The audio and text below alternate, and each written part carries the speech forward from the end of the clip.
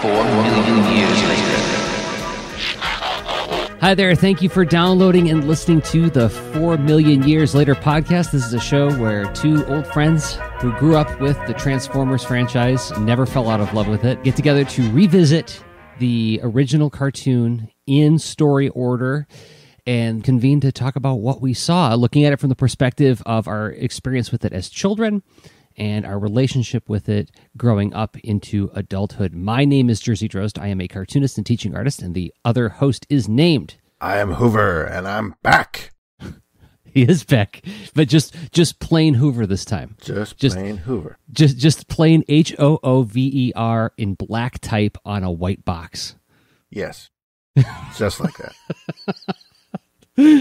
Uh, we haven't had a conversation about generic packaging from our childhoods yet, but I'm sure we will at some point or another. Good to talk with you again about Transformers. Always good to be here. Always good to chat about this lovely topic. That's true. We do feel that way about it. I, I I- don't think about that often, but yeah, we do think it's a lovely topic. okay, so what do, uh, we do an episode a week, and you know, last time we explained that we're doing this in story order from here on out, which means that you know you can't go to Tubi TV and watch it in the order that they have it there, or off of your DVDs if you have DVDs. Is it on Blu-ray? There's no Blu-ray, right? Nope. No Blu ray.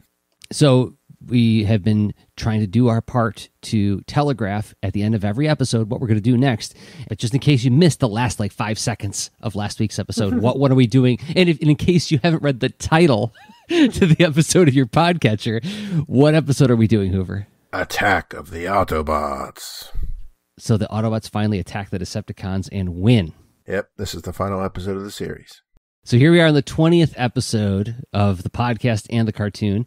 And Attack of the Autobots is written by David Wise. Mm -hmm. This is the first time we've seen that name in the list. It says very first episode, but we're going to go on to see him 12 other times in season two, so he will be a very familiar name with us in time. Mm. And then we'll see him again. He's going to skip over season three and go right to season four to do Rebirth parts one through three. Oh, wow. And unfortunately, he passed away on March 3rd, 2020, at age 65. And Transformers was not his only franchise that he helped shape, right? He was a prolific cartoon writer, wrote a whole bunch of stuff in the 80s and 90s. hmm You pull up his IMDb, it, it's a lot of 80s stuff in there. Ah, well, all right. Well, let's see what a David Wise episode looks like, at least starting out. Uh, let's start with the log line like we do every episode. While distracting the Autobots with a surprise attack, Megatron secretly sets a trap inside their base that will force the Autobots to do his bidding. Oh no, attack of the Autobots means that they're going to attack the good guys. Mm, uh oh. Yeah. I don't know how I feel about this one. this episode, uh, okay, do we want to do a 10,000 feet of views of like uh, overview of how we feel about it before we dive into the moment by moment? Mm, I mean, I remembered it Yeah. from my childhood. I remember it being a very memorable episode just because you see Autobots trashing things. But it also got sort of mixed up in my memory with Megatron's master plan, which is kind Oh. of similar to a degree. Mm-hmm. So just like whenever you see Autobots acting out of character, it's sort of all got lumped together in my child mind. This uh, this is an episode about the Autobots basically turning bad, and the way they do it, they become it's almost like Incredible Hulk, kind of like.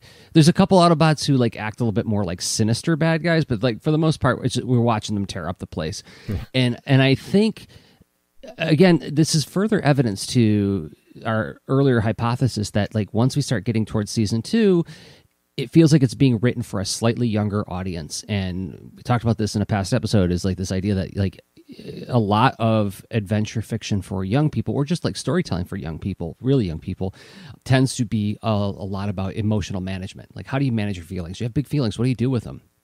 You know mr rogers. What was mr rogers mostly about right how to manage your feelings and, and manage you know a sense of self-worth and everything. And that's i feel like as i watch this episode again with from that perspective i'm like yep that i feel like that's what this episode is really about.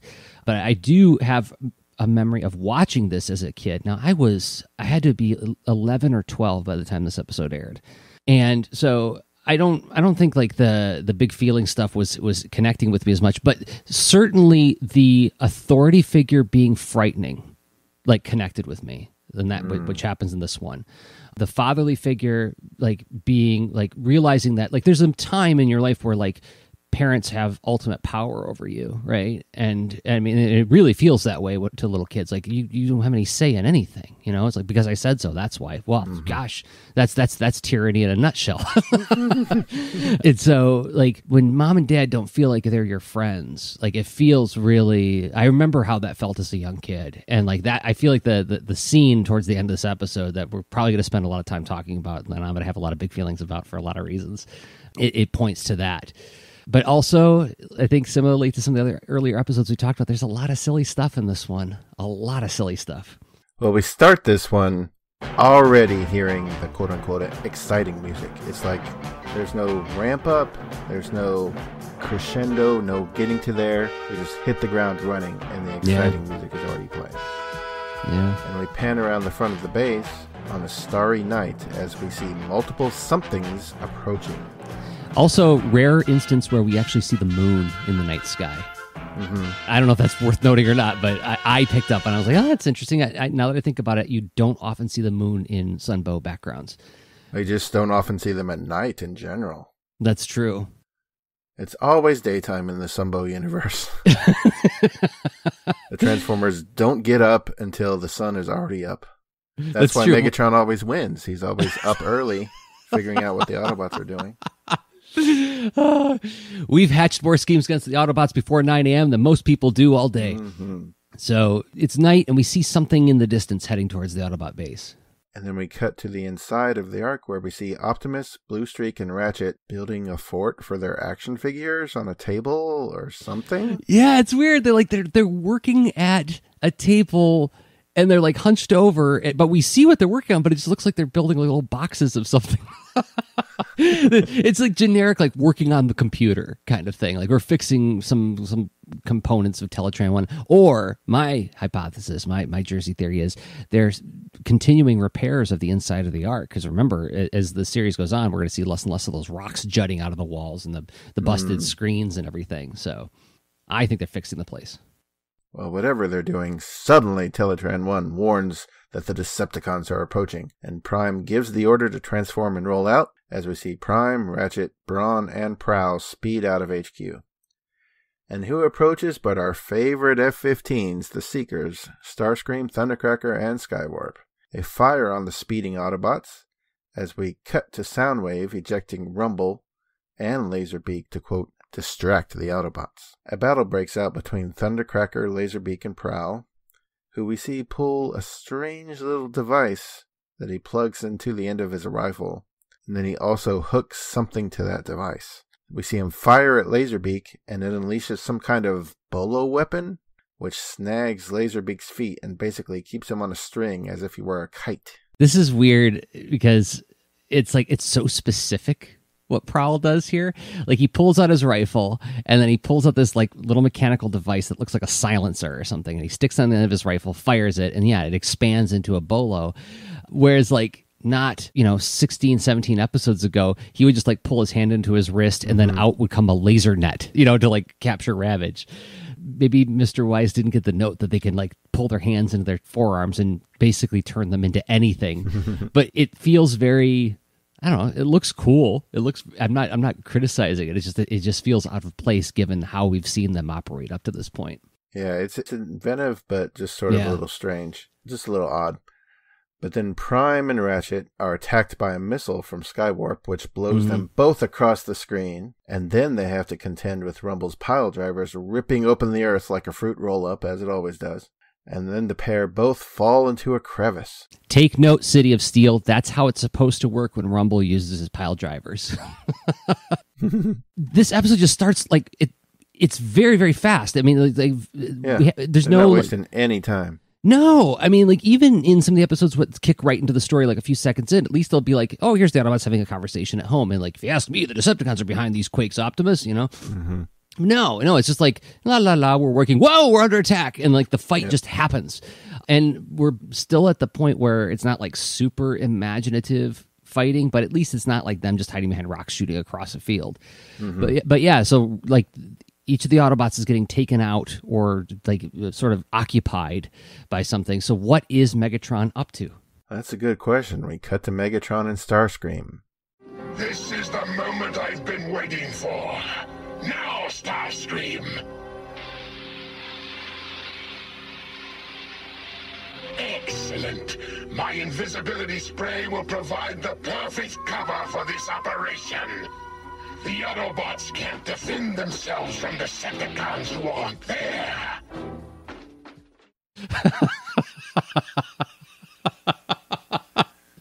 Oh boy.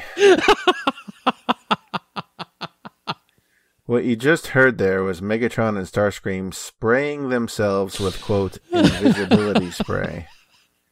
And we see them emerge from an aerosol cloud uh-huh. as white outlines of themselves. Like literal like cartoon ghosts or invisible cartoon people. Just like they showed Wonder Woman's invisible jet on Super Friends. It was just Yeah. a white outline. But like because it's Transformers, they go this extra little distance where instead of it just being a pure white outline, it's like a shimmering white outline. Like they actually have like an energon sort of like shimmer inside of the lines, which it's a cool looking effect. But again, it's like, well, what a weird thing to come out of nowhere. hmm and I've got some other issues with it coming up in a second, but it just feels like this is so emblematic of the kinds of sort of I wouldn't even call it a MacGuffin, but like a device used in a lot of children's cartoons from the 70s through this period, right? hmm Actually, I think invisibility spray goes all the way back to like old Warner Brothers cartoons, doesn't it? Probably. but I I couldn't name the examples, but I I feel like this is something that it felt familiar enough that I'm like I I know I've seen this at least a half a dozen times in other cartoons, and what a what a weird thing for Megatron to pull out of nowhere, right? and also, it's begging for Starscream to be like mm-hmm. Megatron. If we've had this for this long, right. Some kind of critique. But as we'll find, Starscream doesn't say anything this episode. wow. So we're two minutes into this, and already it is off the rails. I mean, kudos to them for not being super formulaic and just cranking out the same exact type of episode with just different characters and scenes swapped out. But invisibility spray, really? Okay. I mean, like, especially after such a specific, probably using such a specific, like, technological device to stop laser Laserbeak, right? It's like, like mm-hmm. you could come up with a dozen little like devices that Megatron could introduce to be like, this will shield us from Teletran One seeing us, right? Mm-hmm. But but no, what are you gonna use? I'm gonna use my invisibility spray to go sneak into Autobot headquarters. I'm gonna put a pin in that, as you like to say, because something happens towards the middle of the episode. I'm like, well, wait a second, Teletran one, you know, like one or the other. but uh, there's a neat effect coming up too that I like. So yeah, what is he gonna do with his invisibility spray? Oh, so you'd think since they're making themselves invisible, they could just walk right up to Prime and shoot him point blank in the face, right? Boom, war ended. No, that's not what they're doing. Instead, it's just to allow the pair to sneak into the Ark and insert a quote personality destabilizer into the Autobots' recharging chambers. And they do so, and then Megatron and Starscream flee undetected. And Megatron explains. Tomorrow, when those Autobots recharge their energizers, they'll experience a transformation they won't expect. Really? Okay. Well, let's let's keep going, and we'll just hope this script starts to redeem itself. So we cut to Rumble. It's time to go back to the cute little Decepticon. He's been waiting to hear Prime and Ratchet hit the bottom of the crevice that he opened up, but he's surprised when Prime and Ratchet both fly up at him. Ratchet calling him a turkeytron. and I'm surprised too because Prime and Ratchet aren't supposed to be able to fly. Also, I believe we saw Prowl fly a little bit in this in the early part of this episode too. So it- this is another one of those things where it's like, okay, he's he's new to the job. Maybe he didn't get like all of the the story Bible, and maybe mm-hmm. maybe the Bible hasn't been updated since it, like episode one because they've been cranking these things out so fast, right? They just handed him a copy of More Than Meets the Eye. Here, watch this. You'll get the gist. Like, Yeah. oh, okay, the Autobots can all fly. Yeah, yeah. I, who knows? I mean, it could be, but I mean, this is again, this is another one of those things that happens when you have a lot of people working on a thing and they're cranking it out really fast. Somebody missed the edit on that. Like, well, wait a second, they can't fly. We've established that by this time. but yeah, they like literally like swoop out of the crevice, and he's like, "Wait, you know, Rumble's like, why didn't I hear him hit bottom? He says, we'd rather hit you, Turkey Tron. Oof. Somebody was like, Doug Booth gave him a note. It's like, always come up with silly, silly computer sounding things mixed with Earth sounding things. And then we see Prowl flying Laserbeak like a kite. That is, if kites shot lasers at you. Hmm. And then Megatron and the Seekers fly by. Megatron declares the mission accomplished and to return to base. So Laserbeak shoots the cord that he's tethered to Prowl with and frees himself from Prowl's hold and retreats with the rest of them. Soundwave takes off as Brawn exclaims, Hey, come back! You didn't finish your nickel-plated knuckle sandwich! So it's nice to hear Brawn being his good old tough guy self. And this is the second instance of that expression. I think the first time was in Ultimate Doom Part Two. So I, I don't know if we. I'm going to keep my ears open for how many times we hear that. Wherever there is consistency, let's celebrate it. Yeah. I like the idea that Brawn has basically one plan with the Decepticons, and that's his Bronco riding thing. And what if he has like one little retort that he likes to give all at the same time? hey, come back! You didn't finish your nickel-plated knuckle sandwich, Brawn. Get a new line. Come on. I'm on brand. I'm on brand, guys. And then he, then he takes an Instagram photo, hashtag nickel plated knuckle sandwich. And then we have this cute little scene where Rumble narrowly escapes Ratchet's grip. I love By- this. This is so by, uh, good. Basically, Ratchet's chasing him, and then Rumble transforms into a tape and lands on the ground. And then Ratchet reaches down, but then Rumble pops up, transforms to robot mode, and flies away. yeah. And then like flies up to Soundwave's torso and transforms into tape mode midair and goes inside of the tape deck. it's a neat little piece of animation and it's it's like the transformer edition of pointing at the ground to like get your enemy to look down but instead of pointing at the ground he just turns really tiny he, into his tape mode it's not like gorgeous animation but it's really it's it's neat to see somebody playing with the fact that they can transform to do mm-hmm. interesting like anytime they do imaginative battle i'm always going to point it and go see see this is why it's good yeah. Well, the Decepticons' exit puzzles the Autobots, and they theorize why all this transpired, but all Prime knows for sure is that Megatron is up to no good. Two things, two notes here. One, I'm glad that Optimus finally learned not to trust Megatron after Heavy Metal War. Two, I feel like the performance of Optimus in this one is getting a little bit back to the John Wayne kind of performance. It's not all the way back to like episodes one through three, but it's it's got more of a lilt to it than he's had in some past episodes. He's he's still like fatherly Prime, but he's not the stoic, stiff Prime from Heavy Metal War. But neither is he like the stick it in neutral Megatron Prime. but it it is nice to hear that lilt back. That was something I, I was I, I thought was especially nice in this one. So Megatron's up to no good. So then we cut, seemingly jumping to the next day because now the sun is out. Mm. And we see Prime and Ratchet charging up in those aforementioned recharging chambers. They look like little beds with sort of clear cockpit roofs on them. Prime orders everyone to recharge as they've got a big day ahead. I actually kind of dig the design of the recharging chambers, how they like fold into the floor. Like mm. we don't get to see a lot of the technology inside the Ark. We really mostly only see Teletran one mm-hmm. and and the Sky Spy occasionally. But like it's neat to see other aspects of their lives. Like what do they do when they're not fixing the place or looking at the monitor? You know, oh, they actually have to eat. How do they eat? Well, they have these beds they lay in, and the beds fold into the floor so that they can all congregate around Teletran One.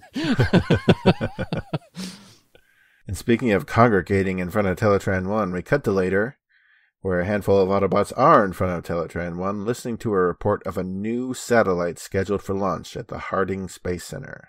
Prime is certain that Megatron will want it for his nefarious schemes, so he says, We've got to get to the launch site and protect, guard, defend. I. I feel very strange. And then suddenly Teletran detects a quote, evil presence present, as the Autobots' eyes all turn red. Also, we strangely hear Megatron's voice, presumably through the chip that he inserted in in the recharging chamber. I I guess. guess he has an audio link to Teletran 1, so we get this exchange. Very good, Teletran 1. The personality destabilizer I placed inside your recharging chamber has converted your Autobot friends from sentimental fools to my kind of mechanisms. Autobots are noble. Your plan can never succeed. Oh, it can't, eh? Autobots, obey my first command. Silence that annoying computer. Optimus Prime, no! Don't Excellent. You're going to cause more havoc than this miserable planet's ever seen. Here are my orders. So now we see Prime, Blue Streak, Brawn, Hound, Prowl, Skyfire, Trailbreaker, Ratchet, and Sideswipe, all with evil eyes glowing red. They're possessed, kids. Well, yeah, it's a nice, simple, cartoony way to express the idea, the, the complex idea that their their dispositions are now different. So th- this is the part where I take issue with the fact that Megatron puts on invisibility spray and Teletran One's like, "What? There's nothing going wrong." But then, like the Autobots get a personality adjustment, and Teletran One's like, "I detected evil presence." what about when Megatron was in your in your house? How come you couldn't detect him then? You know, does the invisibility spray like refract all not just light but also like all other like sensory radiation, right? Like like radar doesn't work on it and whatever other detections. Maybe maybe that's like invisibility spray in the Transformers world is much more scientific. But but also there's a there's a piece that I've neglected to mention earlier when Megatron Starscream were like monkeying with the recharging chamber is that when Megatron says like give me the component, the personality destabilizer, Starscream opens a panel in his chest and while he remains invisible, the moment he opens the panel, you see mm-hmm. his innards. Like you like it's not outlined in white, it's like actually in full color. So it's like so it's further delivering this idea that it's an invisibility spray, it only works on the surface. They're not actually mm-hmm. invisible, it's refracting light in some weird way. But but yeah, so they're the Autobots are all just standing there and we like do this slow pan as we see them all with red eyes now. Yeah. We've probably never expressly stated it before, but all the Autobots typically have bright blue eyes. Yep. That's the sort of visual shortcut to know that they're good guys. and Decepticons have red eyes, yeah. Yep. So we cut to the desert now, where we see Bumblebee and Jazz driving with Spike and Sparkplug within, returning home. And it seems our human friends have just upgraded Jazz's speakers, so they pause to give them a test. Bumblebee says he forgot his earmuffs, so he'll be going back to HQ. And he speeds off as Jazz begins seeing how loud he can get. We see Bumblebee enter the Ark, finding it empty, and Teletran 1 trashed. He finally comes across Blue Streak, who says he looks tired and should recharge. Yeah, let's talk about his delivery of how how he's talking here. It's know? always fun to hear Casey Kasem be evil. Yeah, he's like, never mind that, you know. So this is another scene where the the music changes. So, like you said, like the episode starts with like the exciting Transformers music, and like a lot of the season one music is is in this episode. But this scene, I was paying attention because like I can't remember if this scene like super creeped me out as a child or not, but you can tell it's meant to be menacing. Bumblebee's the mm-hmm. smallest Autobot. He's the weakest Autobot. He has to be a spy because he really doesn't, you know, he, he's not going to like clobber Soundwave. And now he's alone in the base with one of the Warrior class Autobots, and the Warrior class Autobot is being menacing, like in this weird way. Like, come mm-hmm. on, you want to recharge, you know? And so I was like, well, what do they do to like emphasize the tone? And the music is more of like the that other season two Sunbow music that gets used a lot in Transformers and GI Joe. And if I'm not mistaken, it also gets used in some of the other Sunbow shows like Jem or what was it, Inhumanoids. Mm-hmm. Do you think it would have been like somebody would have called halt on it if they actually put some like the really scary music in this scene? Because I feel like if it was lit a little bit darker and they put some of like the scarier Transformers music in the background, I think it would have worked better. Hmm. Maybe, yeah. It it feels like it's suggesting that it's suggesting menace, but it doesn't quite get there. And I can't help but wonder if somebody purposefully made it a little less scary because we're aiming this at younger kids now. Because if you think about what's actually happening, it's pretty intense, right? Blue Streak like grabs him. I wonder if also it could be that Bumblebee's just sort of confused. So yeah. to sort of paint it as even more scary with scary music wouldn't really accurately reflect Bumblebee's take on it because as far as Bumblebee knows, Oh. like things are just a little odd, you know? Yeah. Yeah. Good point. But I mean, the scene does end with Blue Streak literally grabbing him and picking him up. It's like, you're going to recharge immediately, you know? And then Boba's like, hey, come on, let me go. We cut back to Jazz, blasting as loud as possible, much to the chagrin of both humans, and his music causes an avalanche, so he says, Like, wow! Rock and roll with real rocks! and this causes the two to climb inside Jazz to prevent getting squished by falling rocks. Jazz then decides that the demonstration is over and he speeds inside the base. And there we find Blue Streak is carrying Bumblebee over to the recharging chamber. Jazz asks him what's going on, and Blue Streak pulls his gun on him and fires. But Jazz dodges and tells him to be careful. It's soon evident that Blue Streak's intentionally firing at Jazz. Jazz says he doesn't want to hurt him and throws a little barbell looking thing at Blue Streak, who is then knocked out.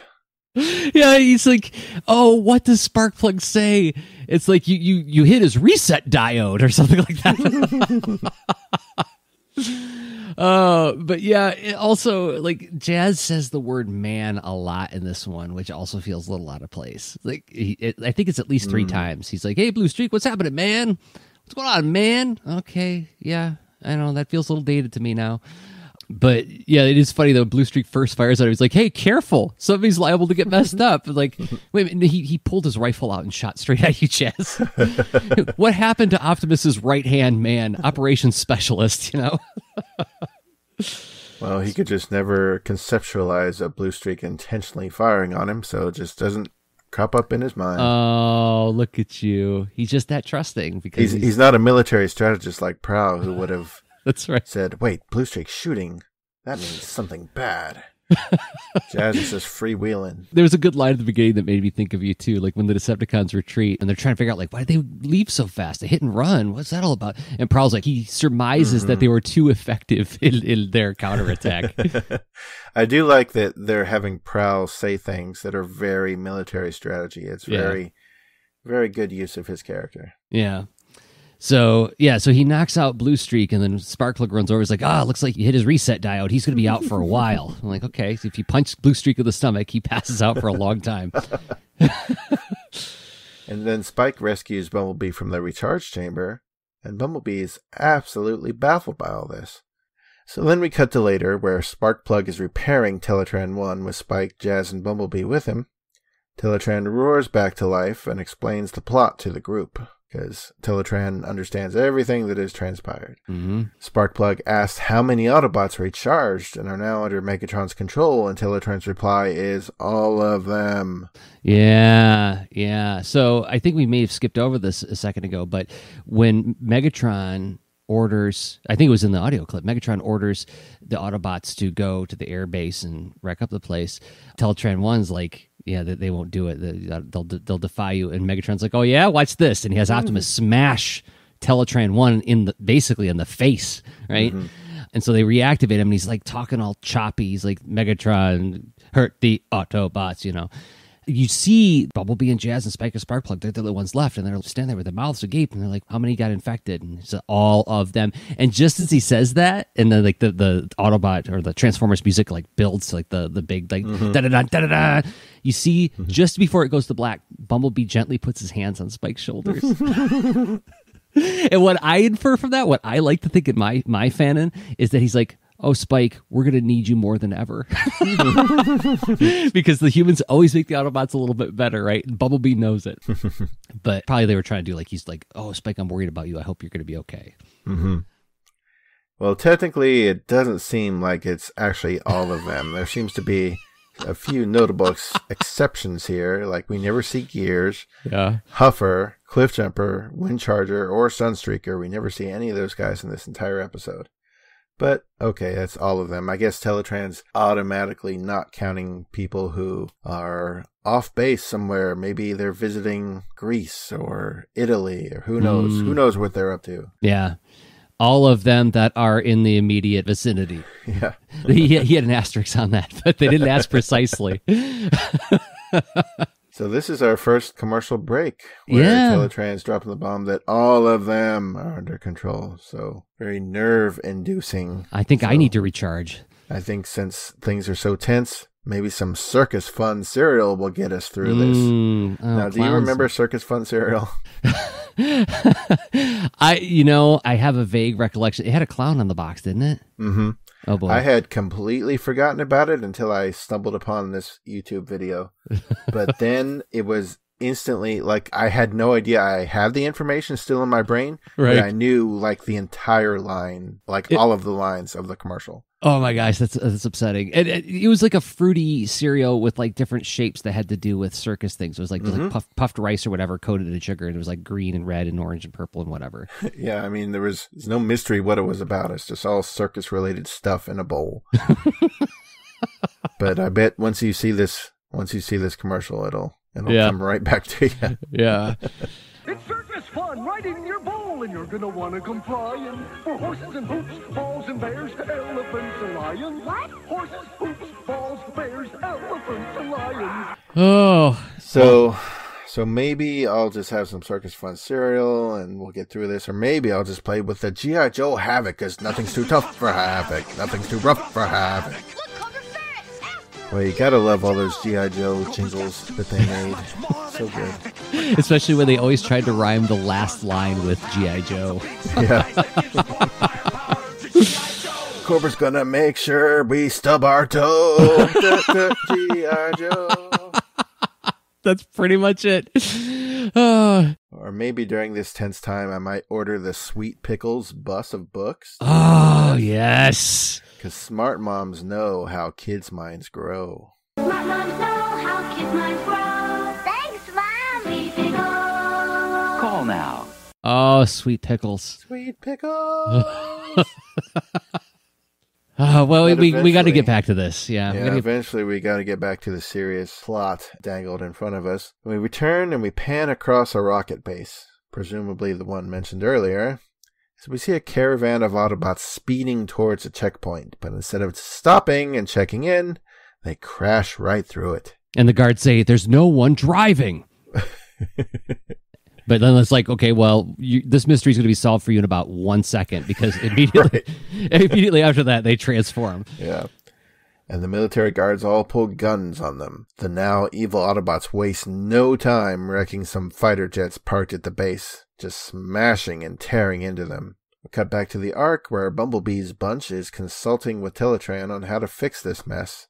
The computer warns them that Prime is attacking the rocket base, and Spike and Bumblebee head off instantly, leaving Sparkplug calling after them. So there's important matters to attend to. Bumblebee and Spike don't waste any time leaping into action. No, no, that's that's why these characters are great. My own personal failings are what I think are making me respond to them so positively because like mm-hmm. ev- any time I've ever in my life been confronted with like real threat, like I totally turn to C3PO in The Empire Strikes Back where I just start stammering and try to talk the person down, you know. Here's here's five reasons why this shouldn't go the way it's going to go, you know.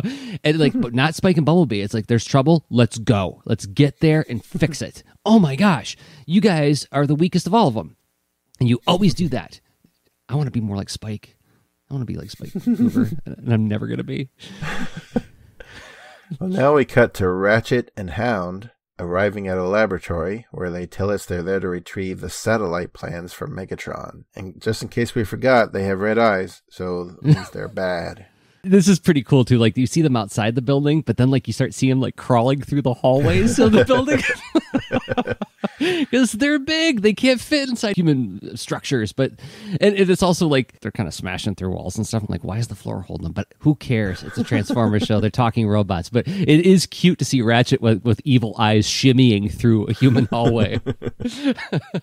Then we see a Dr. Harding in an office holding plans for her satellite creation when suddenly a warning sounds over the PA. Dr. Harding, Dr. Harding, a party of enemy Autobots is attacking this building. Enemy Autobots. What could they be after here? The plans for my solar satellite. So this phraseology doesn't confuse her, even though they just said enemy Autobots. right? she just assumes that they're after her satellite plans. This is a calm and cool woman. Yeah.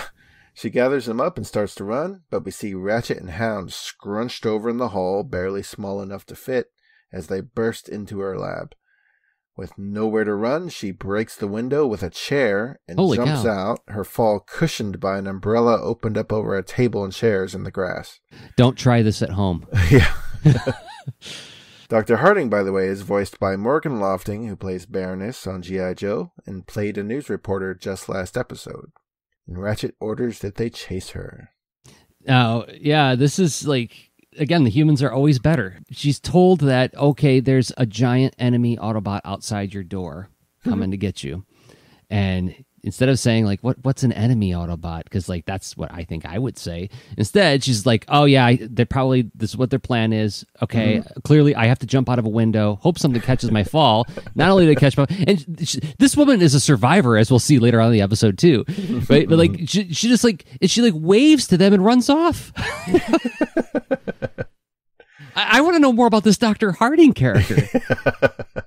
Well, we cut back to Prime and Prowl just smashing and annihilating more parked military jets. But suddenly, Bumblebee speeds up to said base, where he's almost fired upon by the troopers. Spike yells out the window for them to hold their fire, and the troops lower their weapons. Spike exclaims that they're there to help, and that the Decepticons are controlling these Autobots. Bumblebee sees the carnage Prime's making and instinctively runs up to stop him. Mm. But then Prime just swats Bumblebee away, who pleads with him to stop. Yeah, there's some good acting here on Dan Gilvezan's part, right? Like he's like he's like I can't believe this is happening, and he calls after Prime. You hear his voice breaking, right? Like this is too much to watch because they they do a pretty good job showing like the savagery of what the Autobots are doing, right? Like it, and and I gotta say, it, it it looks upsetting to see Optimus Prime, Autobot Dad, ripping up something with that ferocity, right? Like even even when he's like being really rough on Megatron, there's always a sense of like a little bit of restraint. He's never like savagely fighting, but he's being savage right now, and mm-hmm. so I feel like this scene is this scene really works for me. Uh, and, and ending on that shot on Bumblebee's face where he's like calling after Prime and his voice cracking, man, that's good. Yeah. Then we cut to a control center of the rocket base where an executive is saying they'll need to abort the launch because of all this. I certainly hope so. and then suddenly Megatron Kool Aid Man's his way in, walking through the wall, claiming the operation is now under his command. He begins firing on all the computers, which is baffling because I would think that destroying these computers would forcibly abort the launch. Yeah. But then we see Megatron has left some computers be. It's not very clear how he did this. Yeah. Right. It- we should say the room that he's in, it, it looks like sort of a more 70s anime version of Mission Control from the hmm. 1960s NASA series. It's banks and banks of computers in rows leading up to a big screen at the front of the room. And there's like a director sitting in the middle of all of this. And there's all like a bunch of dudes all sitting in front of the different terminals. So when Megatron comes in and starts shooting up the place, like it's a shot where we're looking sort of like up at him as he does it. And he's just like spraying the room with his fusion cannon. and then like we just see like all those rows of computers exploding and the dudes are all gone thankfully. They ran away. But then like all of a sudden he's like soundwave take over the computer. And like then we see there's like at least four or five rows that he didn't hit. Yeah. so this this whole scene is kind of confusing. It's like what are you really after megatron? What are you really doing here? So then Soundwave then unleashes a little extension from his index finger, which he inserts into the computer. That's a handy little device. Megatron exclaims that now the launch can't be stopped and he'll soon have enough power to dominate the universe. Hmm. So it seems he's thinking big again after being content with New York City last time. So Megatron then reveals his plan.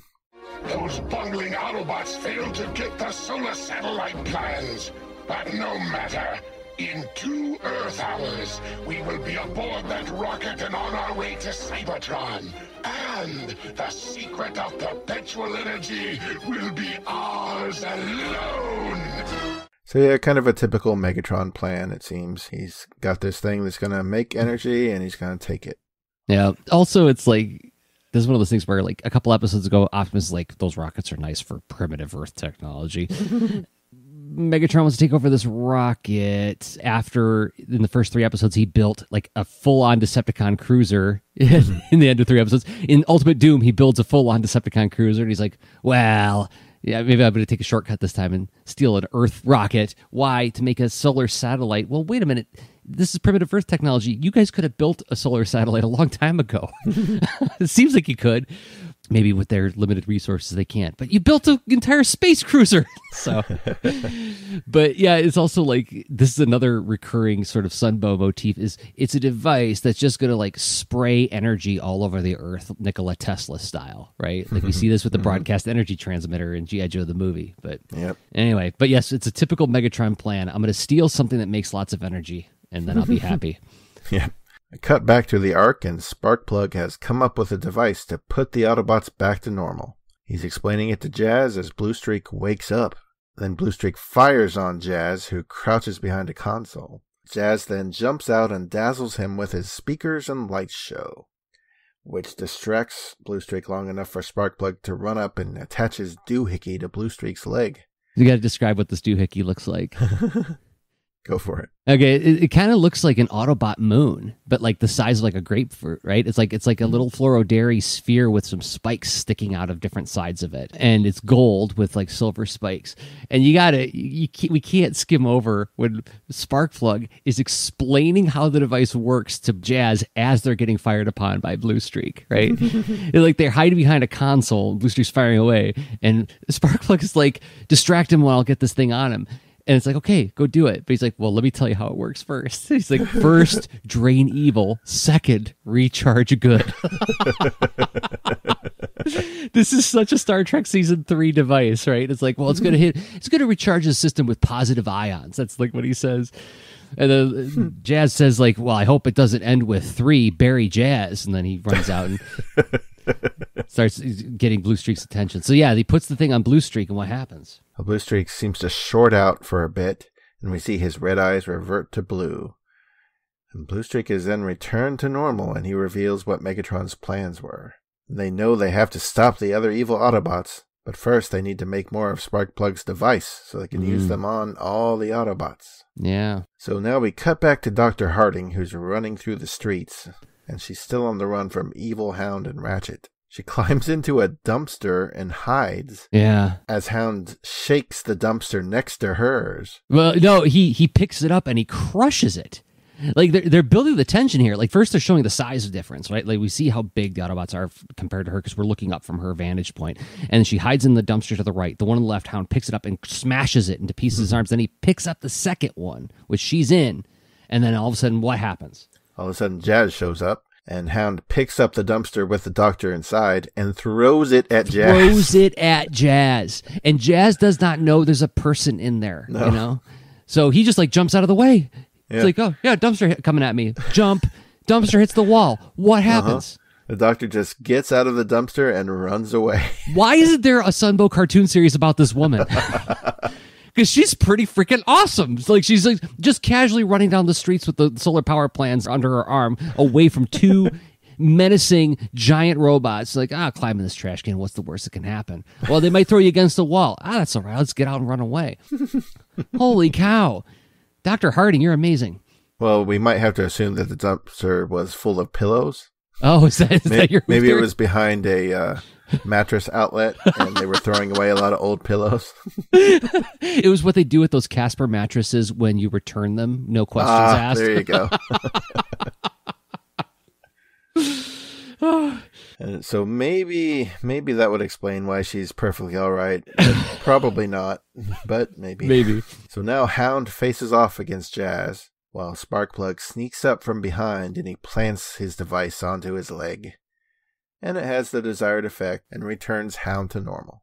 We get to hear Ratchet's evil voice when he's talking to Dr. Harding, but we never get to hear what Evil Hound sounds like, and that bums me mm. out.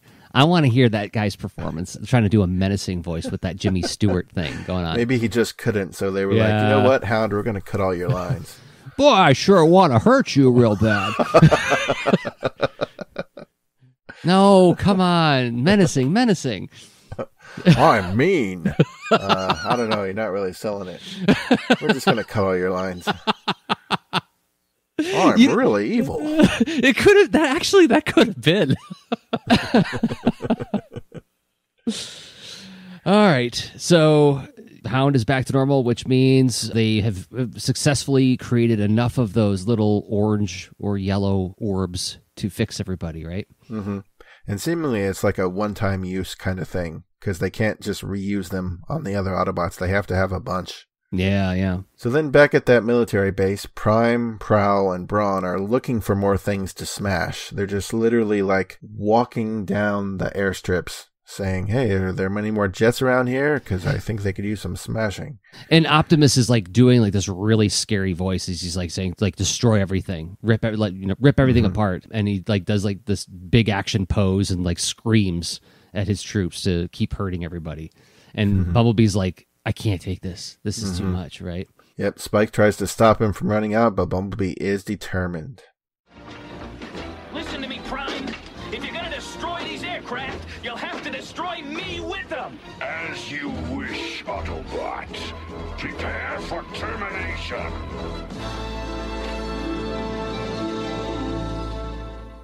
So now Young Jerzy passes out from fear as we head into the second commercial break. Oh my gosh, old Jerzy is going to pass out from fear. Bumblebee jumps up on the plane. He's like, You're going to have to go through me. Oh my God. What? Against Optimus, right? Optimus, who fought all the Decepticons in Heavy Metal War, right? And, and mm-hmm. you know, was still functional after that. So it's like, what's, the, what's going to happen here? I can't take it. I cannot take it. Well, we need some reinforcements, so we need some real help to save Prime. So I think maybe we'll need to call Rambo and the Forces of Freedom. He's going to show up in a helicopter, leaning out the side and go, and then Optimus will just fall down. Oh, I think you're thinking of UHF. Oh, that's right. so I, I don't know. I don't know. I'm, I'm not buying that. I don't think like Rambo and the Forces of Freedom, very, very exciting, but I don't think that's going to be enough to save poor Bumblebee. Okay, well, if Rambo isn't enough, maybe we can get Superman to save him. We Oh, need the. Battle of the Superpowers collection. The Superpowers Collection, Superman, The Flash, Lex Luthor, Joker, and other figures with power action, each sold separately, new from Kenner. Oh, everybody's got their own action move. We see Superman punching the air as he walks, so clearly he can handle this. But if Rambo and Superman can't save Prime, then we'll need someone even more powerful. More so let's powerful? call Chuck Norris and the Karate Kommandos. Look at that vest. Now that's the vest of a hero. Chuck Norris, Karate Kommandos. Break it up, crack it down, fight forces of evil, President Bob. Figures sold separately. Thank you, Chuck Norris. Surely he can help. I don't know. I don't think really any of these toys will help us, so we got to get back to the show. Oh my gosh. So we come back and we see a military jet flying through the air that's suddenly passed over by Skyfire. And we know it's Skyfire because the pilots in the jet say it's Right. Skyfire. right. I guess story wise or whatever, we've never seen another jet that looks like Skyfire, so That's I true. guess he's very identifiable. Yeah. And at this point, the Autobots and Decepticon presence on Earth is widely known. Mhm. I want to like make like a quick little asterisk here. It's so interesting that they chose that direction because in so many other adventure cartoons, like the presence of the heroes always has to be kept a secret. Clark Kent, and Superman, Prince Adam, and He Man. You know, but in GI Joe and Transformers, it's like nope, everybody just knows about us. Even though in GI Joe, they're like it's a super secret organization. Mm-hmm. But like like it's interesting that they just tossed that whole idea out of being hidden. Yeah. But especially because it's robots in disguise. I'm not criticizing them for that. I actually think it's like it's it was probably a prescient move because I think the whole secret identity thing is increasingly out of favor. Even though I think there's a lot of utility to it for philosophical reasons, but we don't have to go into that here. Anybody wants to hear about that, you can sign up for my Patreon. I'll do a Transformers talk on that. But anyway, yeah. So like they're like, hey, it's Skyfire, and Skyfire does what? He's like, oh, hello, fellas. The Autobot Air Guardian circles back and then he fires missiles at the jet. And this causes the two pilots to parachute out just before their aircraft explodes. Down on the ground, we see Jazz, Hound, Ratchet, and Blue Streak arrive with Sparkplug and Dr. Harding. The group brainstorms on how to get the Mind Fixer device onto Skyfire, soon deciding to use Hound's gun to fire it onto him. And then Blue Streak gets Skyfire's attention by shooting at him, causing him to fly down towards them. Hound fires, and the device magnetizes onto the underbelly of his jet mode, instantly putting him in his right mind again. Yeah. And he lands and he picks up the Autobots and humans. It's a very Skyfire moment because like he's flying around, they hit him, and he's like, "Thanks, I needed that." you know, I remember saying after Fire in the Sky that I'm I wasn't as big a fan of the more jolly Skyfire that shows up later on, but uh, actually, I'm kind of warming to, warming up to him again. I. I guess I didn't like the idea of him like instantly enjoying war. I liked that Right. whole business of him being like, "Oh, I have to do this war thing. I don't want to do it." But I like the idea of him saying like, "Well, if I have to do it, I'm not going to be a stick in the mud about it. I'm going to be the, the fun guy to hang out with." they did an okay job of building some tension here, saying like, "Well, how, we can't hit him. He's like a mile high." And Hound's like, "Oh, I got to make this shot count." And they do a little bit of tension building here, and I like the business where Blue Streak's like, "One attention getter coming up," and we see like his shoulder cannons actually move as he's positioning them to like fire on Skyfire. So mm-hmm. I think the scene is pretty good. I like Yeah. it. We cut back to the rocket base where Bumblebee is trying his best to talk sense into Prime, and he's only getting lifted over Prime's head for his troubles. Yeah. Spike yells at Prime to stop, but is distracted by Skyfire's sudden entrance. Skyfire lands and the Autobots disembark. Hound fires more of Sparkplug's doohickeys at Brawn and Prowl, and he hits both of them. So good thing it wasn't Cliffjumper on this mission instead, huh? There we go. You couldn't resist. Oh, good. And then Hound fires one of these at Prime too, but Prime dodges, transforming to truck mode. His trailer appears and Roller, not seen since episode 3, I believe, zooms out, ready to run over stuff, I guess. Ow, my foot. Roller, by the way, doesn't make any of his cute beeps and No. boops this time. He just drives. Yep. Yeah. It's because he wouldn't be evil enough. You can't beep boop evilly. Yeah, I guess not. You can't. Beep, boop, beep. like, let's get the guy who played Bluto in the old Popeye cartoons to go beep, boop, beep. I like this moment too, where like Optimus turns into truck mode, it stops for a second, and then it cuts to Ratchet. It's like, oh, he's transforming into his three component parts. And I'm like, mm-hmm. that's the only time I, I can think of where they ever say that, you know? Yeah. They kind of like don't do any of that in the series except in, like you said, episode three, where Optimus like talks to Roller. Yeah. But here we actually get that idea expressed in the dialogue. And so Roller comes out and runs over people's feet, but what happens to the trailer? Well, the cannon thingy that's in the trailer begins firing on them. That is until another well placed blast from Hound. So Hound shoots Prime's trailer base and it fritzes and stops firing. Then Roller speeds past them and Hound fires another device at it, hitting it on the back and fritzing it out. So now they've successfully de-eviled Prime's trailer and Roller. mm-hmm. But they've had to use one thing on each of them. Mm-hmm. And now, conveniently, the Autobots are down to their last attitude exchanger. You So gotta they can't have stakes. to miss anymore. They can't. So brave Bumblebee grabs it and takes matters into his own hands. Yeah. And here we see Prime writhing in pain because two thirds of him has been, you know, given this attitude adjustment. But then he grabs another jet off of the airstrip, breaking it over his knee. Yeah. Bumblebee runs up and tries to reason with him again. You've got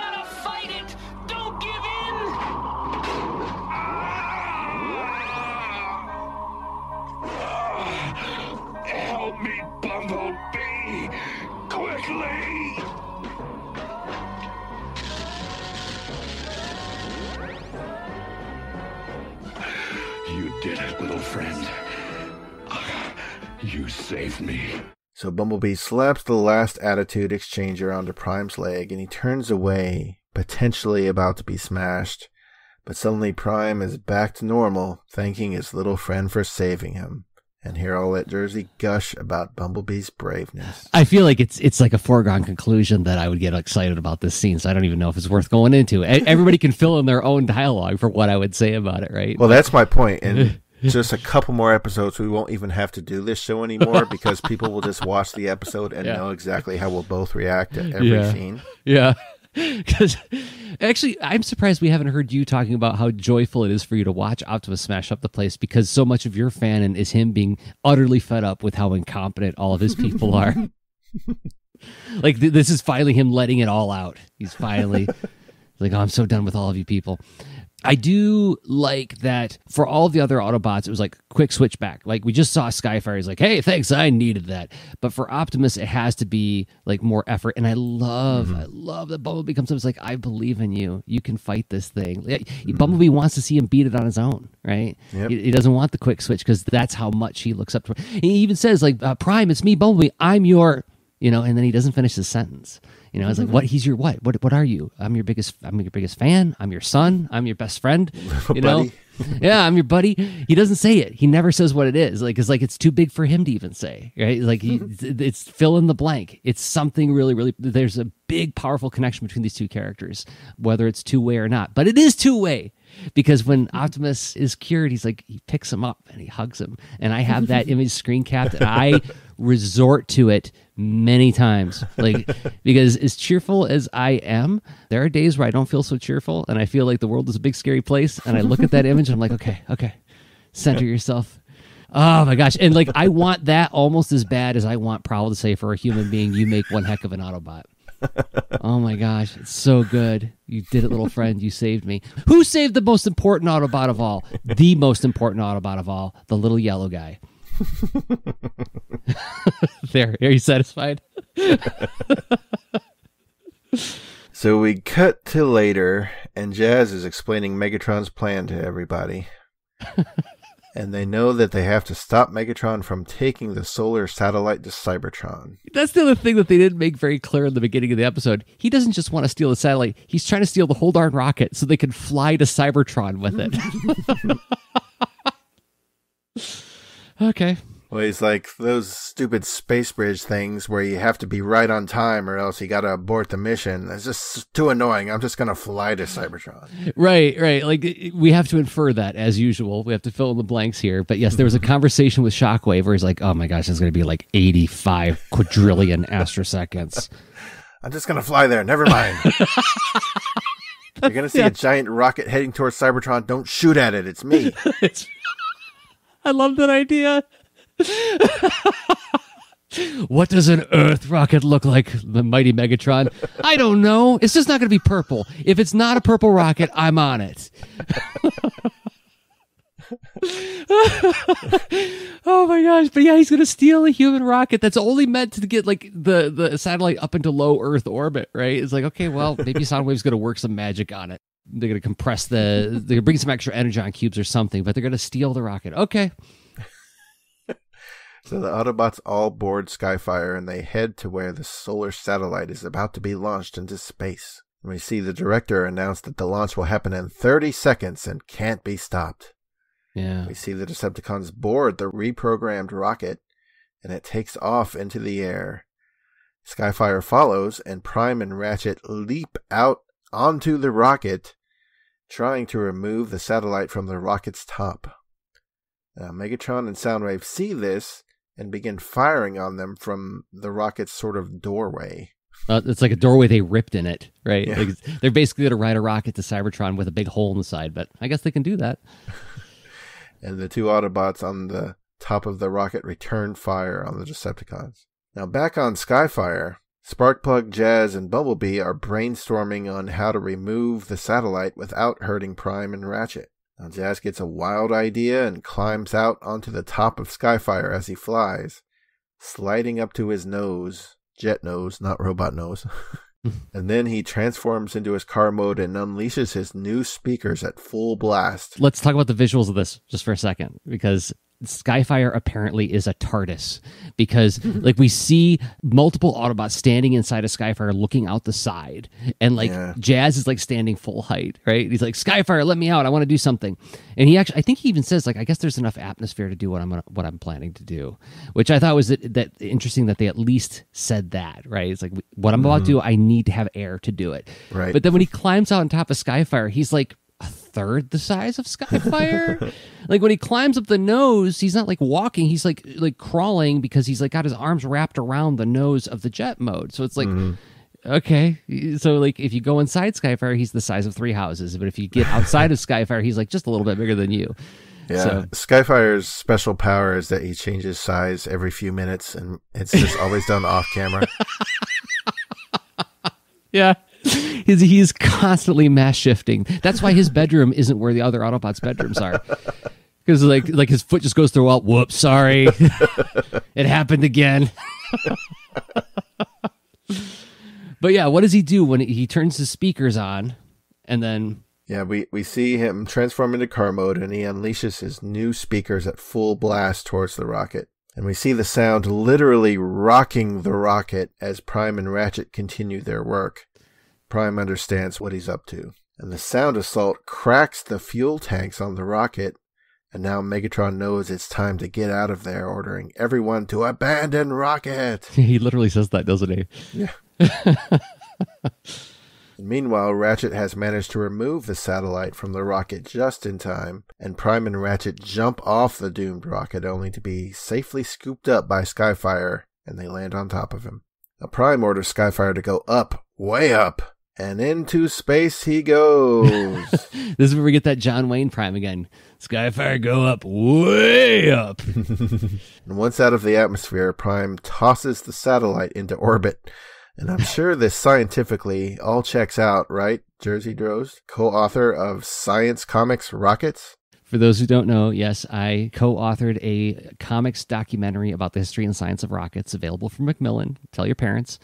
And in, in it, we had to explore, we had to, we took it upon ourselves to explore Newton's laws of motion, which are like the fundamental ideas behind how a rocket moves.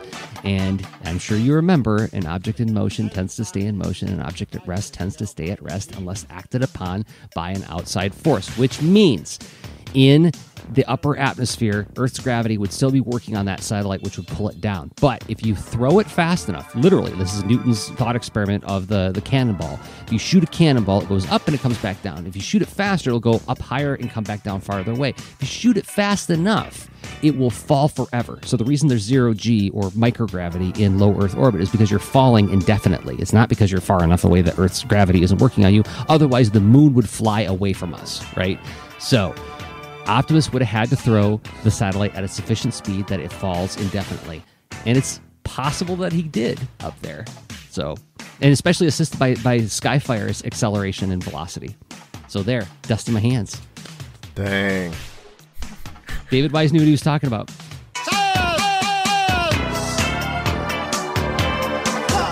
Did you get all that, kids? There'll be a quiz later. Just buy Science Comics Rockets. There you go. and then you don't need to remember. It'll be an open it up. book exam. So if you buy the book, It's also a funny book, by the way. Anyway, back at the Ark. Back of the Ark, the day is saved, and Ratchet's explaining to Prime that this little device that Megatron put in the recharging chamber is responsible for this whole mess. Prime thanks Ratchet, but especially Bumblebee for saving the day. Oh, I love that line so much. It's like, especially you, Bumblebee. Oh my gosh. I need to make that like a ringtone. And this irks Ratchet. Why? Ratchet wants more of the credit. So this starts Sparkplug commenting that it was his device that saved everyone as he and Ratchet start really arguing over who the better mechanic is.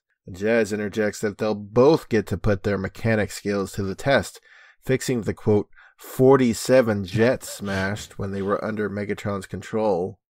Wow, 47 jets. Yeah. Their arguing turns to laughter and the episode ends. Mm. So I would imagine, just judging by this cartoon, Sparkplug and Ratchet could fix 47 jets in probably about mm, an afternoon. Yeah, yeah. He he made he invented and mass produced those personality restabilizers, you know, in essentially an afternoon. So yeah, then like Spike and Bumblebee walk up to Ratchet and and Sparkplug with their tools. Spike gives Sparkplug his favorite wrench, and Bumblebee gives Ratchet this weird looking drill thing, like basically insinuating that the two of them are going to fix all the planes. but I, I, I'm assuming all the Autobots are going. I mean, they helped rebuild the Earth after the Ultimate Doom for crying out loud. Even the Dinobots helped with that. So Well, here's a little thing to note that back when the Autobots were turned evil in that scene, we saw Sideswipe and Trailbreaker among them, but we never see them again. So I think Megatron had them come to headquarters and rub his feet. It's like Sideswipe, Trailbreaker, these dogs are barking. also, if this would have been a more modern cartoon, we would have found out that Gears and Huffer and those guys actually were recharged, but they're just hanging out at the Decepticon base. And Megatron gets home and is like, What? What are you doing here? Like, we're now in your army. No, you're not. You people are terrible. We're complaining still, but we're just complaining evilly now. We're not fighters like they are, Megatron. I know. That's why I told you to go home. and then, you know, Mirage is just turning invisible left and right. You're like playing peekaboo with Megatron. No. but yeah, what happened to Trailbreaker and Sideswipe? So, in closing, this is yet another case of an episode where a sort of wild Deus Ex Machina appears, but barely factors into the plot. I mean, the whole episode could have been based around invisibility spray, or they simply could have snuck into the Ark another way. Yeah. You introduce a wild concept like invisibility spray, like it's just bought off the shelf at the grocery store, and it barely factors in. I'm not going to blast the author for these ideas or executions because we know season two was super rushed and there will definitely be some David Wise gems coming up later on. But this first one just it just seems more like a GoBot plot. Like, oh, I'm going to turn the good GoBots evil. it seems really simplistic that there's really nothing for me to do except explain the plot and complain about invisibility spray. I mean, there's no theories of mine in this episode. It's like, what do I have to comment on? well, that's another thing I noticed as as I was watching it again is that like the Decepticons barely have a presence in this one, Mhm. and they're really only there to be mustache twisting villains. Yep. Like you said, Starscream doesn't talk. Mm-hmm. Yeah, none of the Seekers say a word in this one. All Soundwave really does is tell Laserbeak and Rumble to go distract the Autobots. Yeah, like we don't get to see any of the internal chemistry of the bad faction in this one. It felt Mhm. like it was the good guys show and the bad guys were largely there to just antagonize the heroes. Yeah, and now forward the plot. And now one might assume that, oh, well, Jerzy would love that because he really uh, champions the Autobots. No, because I don't think you can get a full expression of what makes the Autobots so great unless you contrast it with something, right? And the the contrast, I guess, was internal in the sense that they made the Autobots bad for episodes. But even that wasn't all that terribly interesting conceptually because it was just like they just turned into rage machines, right? Mm-hmm.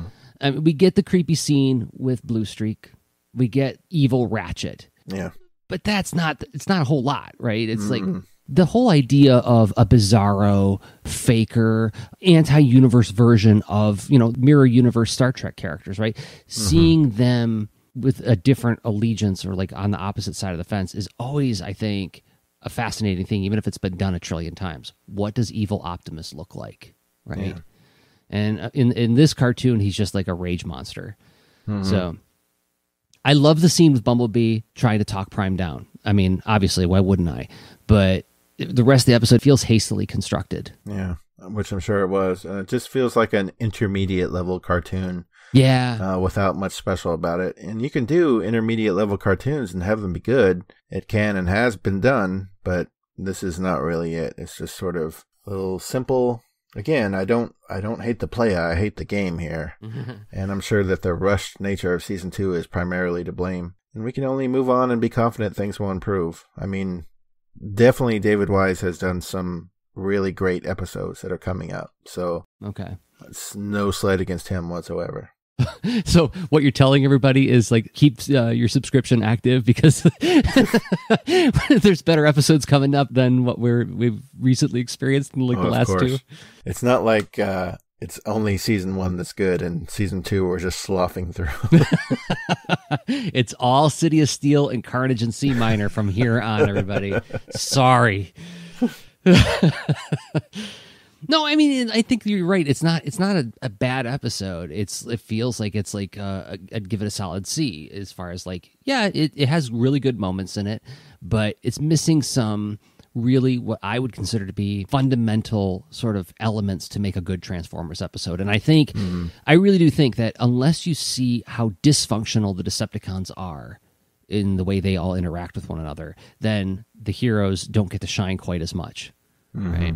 Yeah, I mean, I think it'd be a good plot device if you have the Decepticons, you know, fail because of their own failings, more or less. Mm-hmm. And, you know, that would just point out, you know, that these are flawed characters. Yeah, or, or yeah, or their worldview is flawed, right? Mm-hmm. I think that those kinds of stories are much more interesting and meaningful. Like, like again, I'm going to keep going back to Fire in the Sky. That's that's fundamentally what's at work there. Is that you have Starscream's broken worldview versus Skyfire's coherent and complete worldview, and and and that's what allows Skyfire to overcome the ambiguity of that situation and join the right side.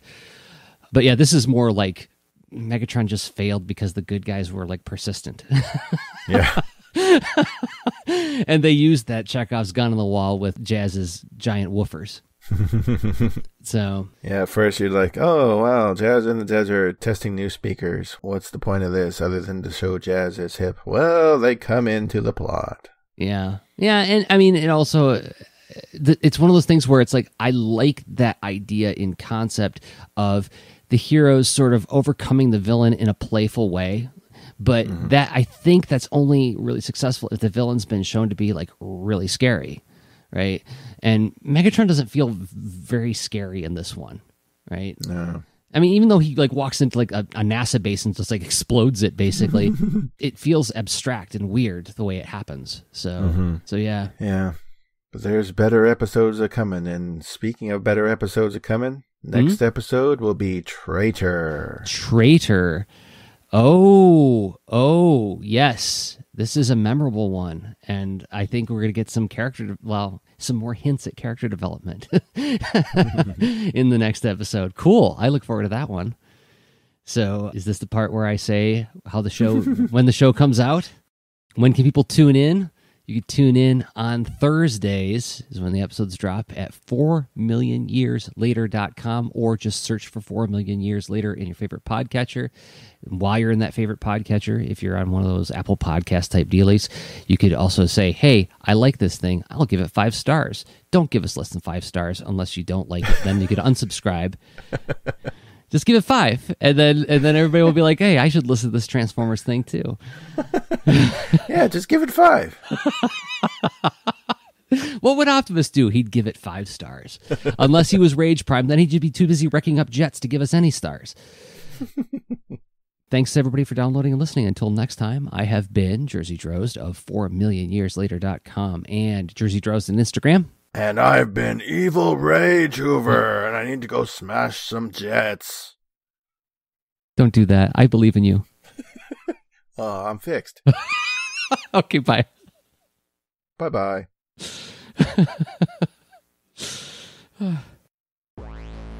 Episode synopses are from imdb.com and some episode information taken from tfwiki.net. The closing theme is by Nick Mehalick, based on the original closing theme by Ford Kinder and Anne Bryant. You can find more of Nick's music at soundcloud.com slash Nicholas Mehalick.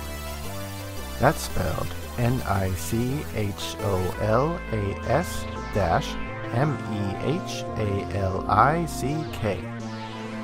Find us on Facebook under 4 Million Years Later, and you can email us at 4 Million Years Later at gmail.com. Visit 4millionyearslater.com, and if you haven't yet, please subscribe to the show wherever you listen to podcasts. You know how it works.